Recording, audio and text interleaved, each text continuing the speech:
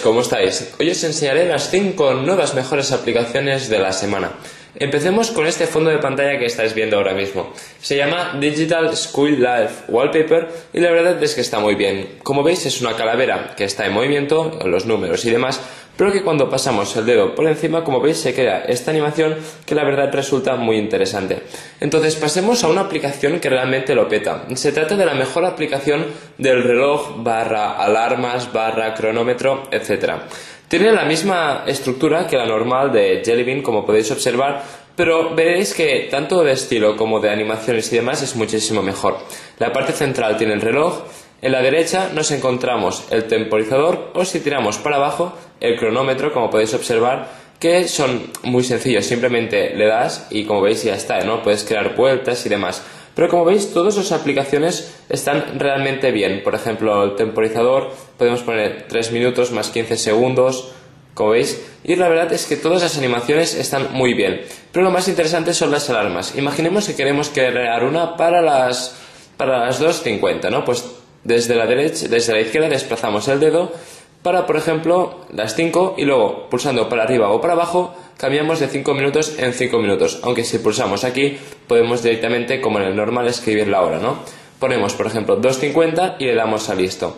Si la ampliamos, podemos configurar el, digamos, el despertador inteligente que 20 minutos antes empieza a sonar una musiquilla que si nos pilla en acabar un sueño, la verdad es que te despiertas muchísimo mejor.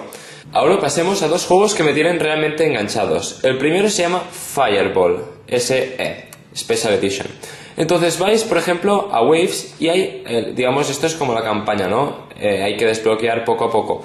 Pero para que veáis rápidamente de qué se trata, voy a poner el modo Survival, el Velocity, que en teoría es el rápido, pues para que veáis, nosotros somos esta bola que estamos más o menos en un campo rectangular, como podéis observar, ¿no? Y tenemos que esquivar de un modo muy eh, a reflejos todas estas bolas azules. Si pasamos cerca de las rojas, lo que hace es activarse, como podéis ver, y entonces petará. Si hay más de 50 en... ¡Oh! Casi le activo la nova. Si hay más de 50 dentro... Ahí está, como veis, se activa este. Entonces, como veis, llevo un vicio bastante importante y puedo pasar pues básicamente por donde quiera, pero esto es mucho vicio.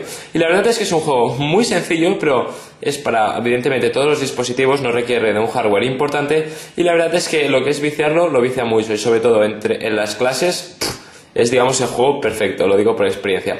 Ahora pasemos al siguiente. Este se llama Towers and Trolls. Es el típico juego de Tower Defense, como podréis observar, en el que, va a ver, por ejemplo, pongo un nivel así más o menos normalito, eh, es el típico camino que tenemos que defender el castillo y en este caso pues vienen de estos dos caminos y simplemente tenemos que ir creando diversas torres para eh, pues que los enemigos que saldrán por estos dos caminos no lleguen a nuestro castillo. Aquí hay el número de vidas, aquí hay digamos extras. Ahora voy a dejar que me maten, ¿no? Por ejemplo, esta es una torre de gas que ahí donde la metes eh, lo peta bastante, ¿no? Entonces a medida que vamos subiendo de nivel vamos desbloqueando Vale, este es un fail, no era el temporizador de antes. Bueno, como veis funciona, eh, cuidado. Y bueno, pues la verdad es que este es un juego que trae un vicio también bastante importante. Eh, a medida que vamos avanzando vamos desbloqueando torres, nuevas bombas aquí y demás, nuevos enemigos.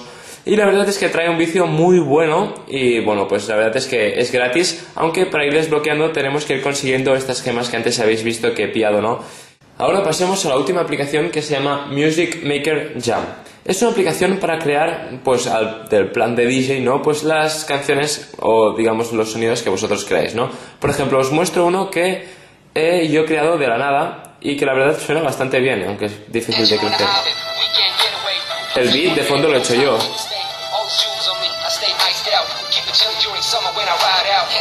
Bueno, básicamente, para que os hagáis una idea, podéis ir a proyectos, nuevo proyecto, y aquí hay las diversas pistas. Hay muchos estilos musicales, aunque se tiene que pagar, creo, por ellos, excepto el hip hop, que es el que viene gratis, ¿no?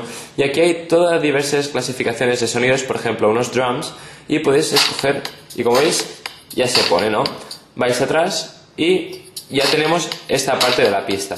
Podemos crear, por ejemplo, yo que sé, unas vocales. ¿A esta no suena? Right. Vale. Y podemos simplemente ir añadiendo, por ejemplo, yo que sé, eh, un sintonizador. Ahí está. Podemos, por ejemplo, mezclarlos para hacer que unos suenen más fuertes que otros. Podemos hacer segmentos, por ejemplo, bueno, lo pauso para que se me escuche. Podemos hacer segmentos, por ejemplo, que los 20 segundos suene este después otro. Así que os recomiendo que los que queráis hacer un plan un poco de DJ y a ver qué tal se os da, ¿no? Pues la verdad es que es una aplicación muy interesante. Entonces, hasta aquí el rápido vídeo de hoy sobre las mejores aplicaciones Android. Espero que os haya sido de gran utilidad y si es así, no olviden darle un like a este vídeo para ayudar a la comunidad pro Android a seguir creciendo día tras día. Hasta la próxima, Androides.